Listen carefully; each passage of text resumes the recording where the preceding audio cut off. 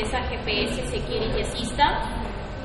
El día de hoy eh, queremos presentarle nuestra empresa y todos los beneficios que puede eh, conseguir al contratar un GPS en la actualidad, fuera de lo que ya conocemos en los métodos tradicionales y lo que todos ya sabemos que conseguimos con esta herramienta, ¿no?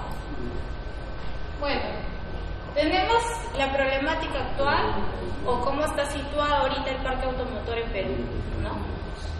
Entonces, sabemos ahorita que, que en realidad en Perú tenemos un promedio de 2.600.000 vehículos, que promedian con, con 13 años de antigüedad.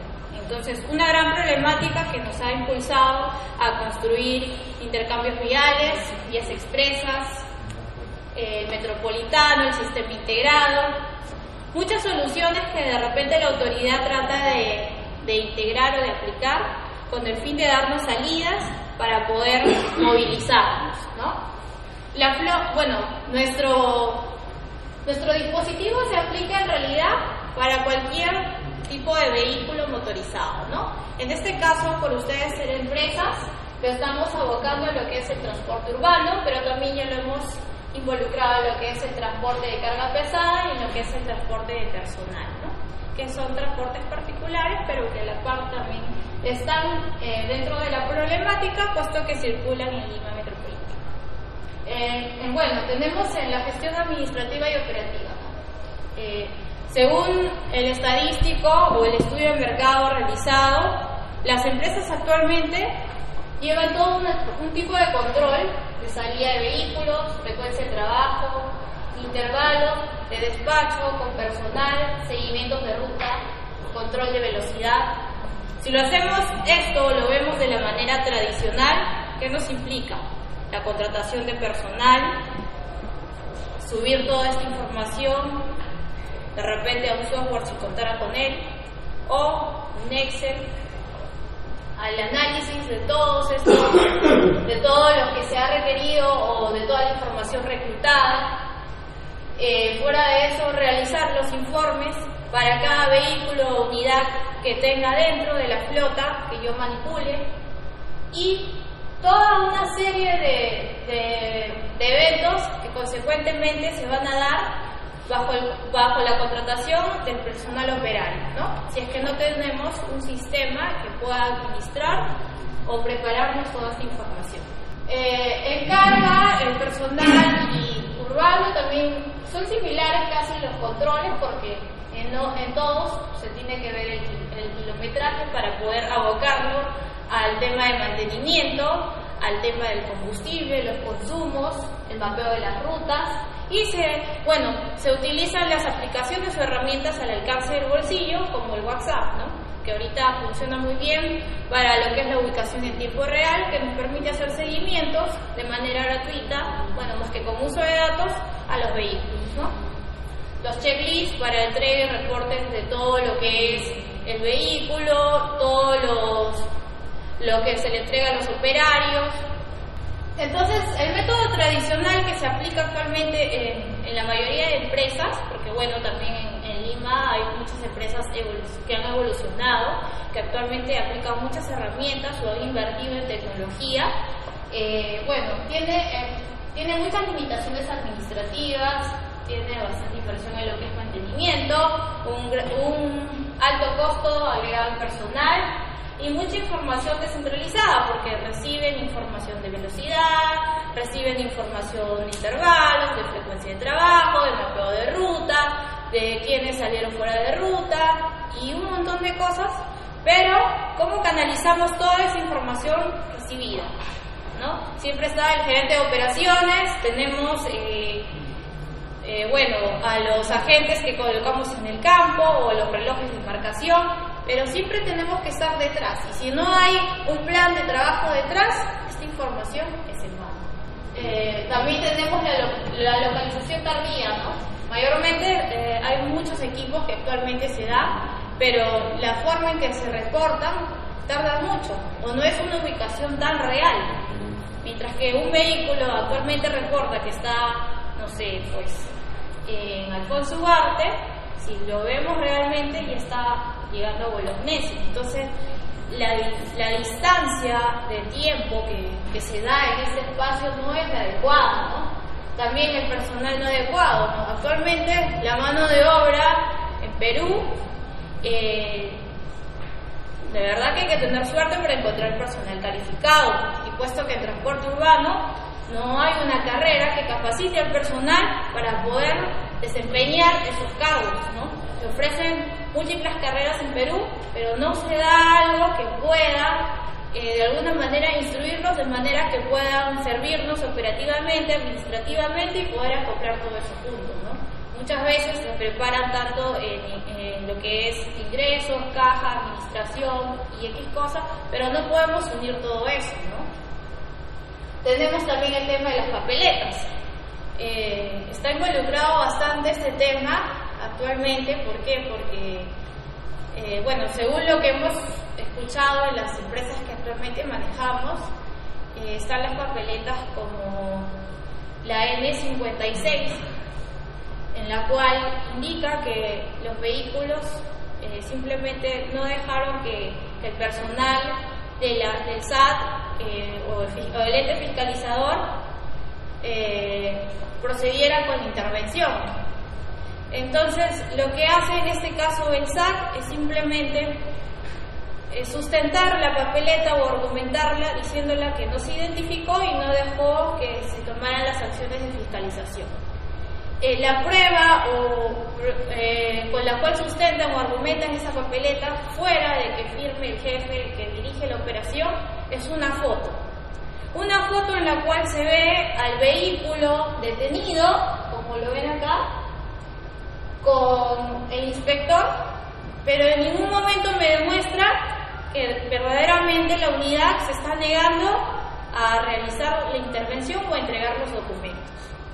Y muchas veces estas papeletas no coinciden con la fecha o lugar y hora en las cuales se las han impuesto. Pero no hay cómo probarlas porque la notificación llega mucho tiempo después, porque no hay un control adecuado, porque la información es regulada por la misma empresa y a veces si la empresa es propietaria del vehículo, eh, está detrás del vehículo, pero si son propietarios asociados, no es eh, la responsabilidad adecuada a veces con el vehículo por este caso. Entonces, no hay de qué manera demostrar que esta papeleta es puesta de manera justa. Entonces, se ha encontrado una manera de demostrar y hacerle frente a esto con este dispositivo. ¿no? Pues, al ser homologado por el Ministerio de Transportes y Comunicaciones, nos permite defendernos ¿no? y de alguna manera probar que la infracción sea adecuada y que concuerde con la fecha y hora en la cual está indicando la papeleta. Entonces es una gran herramienta, y no solo para esta papeleta, sino por velocidad, por carril, por un montón de cosas, ¿no? Es una herramienta en realidad que se le puede dar demasiado uso siempre y cuando haya una plana operativa buena detrás de esta herramienta, ¿no? Luego tenemos el costo inaccesible. Muchas veces las empresas que ofrecen este tipo de servicios eh, me dan todos los beneficios, wow, yo digo ahorita despido todo mi plan operario y administrativa y, y quedo operando el software, pero el costo que me dan es muy inalcanzable, Desde el equipo que me venden hasta eh, la mensualidad que tengo que pagar. Y no compensa, porque transporte urbano, eh, si bien es cierto, está exonerado de IGB por el servicio que se presta, pero hay otras cosas que pagar, están los seguros, están los peajes por ahí, el combustible, el conductor, el cobrador, todas las cargas que involucran administrar este tipo de negocios, ¿no? Persona que lo suele ser el ingeniero Helio Cosme, el eh, gerente de operaciones de la empresa. Bueno, para continuar con lo que mencionaba eh, la señorita Rosa, lo siguiente es el método de GPS Security. En base a toda la información que, él, que la señorita les ha prestado y a denotar en base a, a, lo que son las actividades administrativas, logísticas, en lo que refiere a empresa de transporte urbano, así como también está relacionado el transporte de carga y transporte personal, eh, nosotros tenemos un método que hemos impuesto en empresas y que de alguna manera están, estamos obteniendo buenos resultados. Ahora, ¿cuáles son esos puntos? El control y rastreo automatizado de flotas, la información en tiempo real, el control de personal, la gestión de ruta, la gestión de rutas y la alerta en tiempo real. Ahora, ¿cómo explicar estos puntos? Por ejemplo, las gestiones de ruta. Yo de qué manera con un personal en campo eh, puedo saber el tema de si había un accidente, si el tráfico es alto, tengo que acudir a las llamadas. Necesariamente no me contestan. ¿Qué sucede? Entonces yo acudo a la gestión de ruta. Ingreso al mapa, ingreso a la interfaz y yo puedo ver la actividad del tráfico en tiempo real. Y puedo dar rutas accesibles o alternas a mi vehículo, en el, caso de transporte personal, en el último los para dar reportes en tema de accidentes, en transporte urbano. Otro ejemplo son las alertas en tiempo real. Hay unidades que a veces están sometidas al tema de accidentes o robos. Yo, como dueño de empresa, quiero salvaguardar mis unidades y no quiero que sea víctima de hurto, robo o por último que se detengan las actividades, porque para mí, el empresario, el tiempo es oro, no puedo detener mi actividad. Entonces, en base a esas alertas, yo puedo eh, acudir y actuar de forma instantánea y no enterarme después de dos, tres horas. Ahora, la información en tiempo real, ¿a qué refiere? Eh, cuando nosotros tenemos un personal en campo, tenemos determinada información, como lo mencionó mi compañera, que es eh, puntual.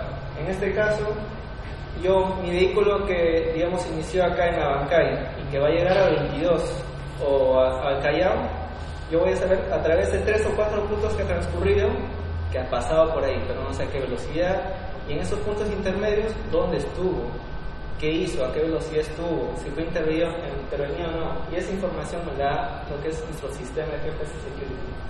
El siguiente es el historial de actividades. Cuando sucede algo, nosotros tenemos un registro, un documentario, que es algo que por medio de nuestra base de datos nosotros podemos acceder a esa información para saber qué pasó ayer, qué pasó antes de ayer, hace un mes, hace dos meses, y podemos transcribir esa información a una manera de que la persona interesada, el usuario, pueda visualizarlo de forma simple y no tenga que interpretar códigos, ni coordenadas, ni nada por el estilo. Así como también la base de datos digital. Ahora, eh, muchas empresas manejan lo que son bases de datos documentarias. Está muy bien, pero el tema es, ¿qué sucede si yo quiero acudir a mi información? ¿Voy a ir a mi file y me voy a poner a buscar a mano? Actualmente eso no se maneja. Actualmente se maneja todo en el sistema digital. Eso ahorra mucho tiempo, ahorra muchas horas hombre, ahorra en el tema de consumo de personal y ahorra tiempo. Ahora, lo que es el sistema totalmente accesible para todo tipo de usuario. ¿Por qué para todo tipo de usuario? Un empresario, eh, la parte operativa, la parte de supervisión, todos pueden tener acceso a dicha información, siempre y cuando uno le otorgue eh, los privilegios, uno como dueño en este caso el soporte activo las 24 horas. Cada uno como empresario puede trabajar y, bueno, su plan siempre trabaja las 8 horas, ¿no? O hasta a veces 12 horas, según la actividad. Pero no pueden las 12 horas, las 24 horas del, en este caso del día. Con, con este método GPS Security uno puede abarcar esa cantidad de tiempo. Al abarcar esa cantidad de tiempo, ¿qué sucede? Yo estoy ahorrando en personal, estoy ahorrando en tiempo, en esfuerzo, y no estoy contemplando ningún tema de que estoy afecto a las actividades eh, humanas, sino netamente mecánicas y automatizadas. Ahora, más o menos se que, se, le quería dar una introducción de cómo es que funciona. Eh, actualmente se, se cuentan con herramientas tecnológicas. Estas herramientas tecnológicas van de la mano con los llamados GPS, en los cuales en el mercado peruano actualmente hay muchas más de 100 marcas están homologadas, con las cuales cuenta la empresa, y todas estas trabajan con la señal telefonía y a la vez todas estas tienen acceso a las redes en la nube. A ver, un ejemplo de las redes en la nube. Yo tengo mi oficina y, y ahí está toda mi base de datos. Cada vez que yo requiero algo siempre van a ir ahí. O tengo dos oficinas. ¿Qué sucede si en una de ellas sucede algún imprevisto, hay un incendio, eh, o simplemente por un tema de accidente perdí alguna información. Por ejemplo, yo tenía un registro ahí de varias unidades y un incendio y perrito. ¿Cómo hago para recuperarlo? Se perdió. Y simplemente ya no puedes hacer nada y no puedes acudir a esa información. Si alguien quiere acudir a la información, tiene que ir a esa oficina, a ese lugar y obtenerlo en forma física. Pero en cambio en la nube no. Yo simplemente puedo sacar mi celular, ingreso y puedo ver mi información donde sea que yo esté, en la sierra, en la selva, en la costa, puedo usar una computadora, una cabina de internet y puedo acceder a través de ella para obtener información. Ahora, la accesibilidad, como les mencionaba, a través de la nube, la puedo tener en tablets, en laptops, en computadoras de escritorio y en todo tipo de móviles, ya sea Android o iPhone. Ahora, ¿qué beneficios me ofrece GPS Security? Un soporte tecnológico. Esto, digamos, lo dividimos en dos partes. Todos estos beneficios que ofrece la empresa está sostenida por una parte netamente tecnológica y otra que es un soporte humano. La parte tecnológica es lo que es plataformas de última generación que pueden responder a todas las necesidades del cliente, que pueden procesar la información y en las cuales cada uno puede autogestionar su información. Yo para poder ver dónde estuvo mi vehículo ayer, antes de ayer, si siguió la ruta o no, si estuvo fuera de ruta, si excedió el límite de velocidad, no necesito estar llamando a un personal capacitado para que me dé información. Yo mismo lo hago. Entonces, en ese aspecto eh, acortamos lo que son los tiempos. ¿Tiempos en qué? En gestionar una actividad eh, administrativa. Yo no tengo que consultar a alguien para que la otra persona me diga, sino yo de forma directa obtengo esa información. Otra información que puedo obtener a través del sistema security, lo que es control por videocámaras en el transporte, eh, cuando uno quiere accesar a una información, hay un accidente, hay un robo, eh, yo puedo ingresar a través de la red y puedo tomar imágenes del lugar, puedo tomar imágenes del interior del vehículo, hasta grabaciones. Y todo eso remotamente. No necesito decirle al conductor, ¿sabes qué? Por favor, activame las cámaras. No. Yo lo hago desde mi oficina. Lo siguiente es el sensor de, de huella eso actualmente se está aplicando en el país, lo que es el ingreso para lo que son detección de los vehículos y personal que netamente pertenecen a una empresa. Eso se aplica para lo que es eh, personal de transporte de carga.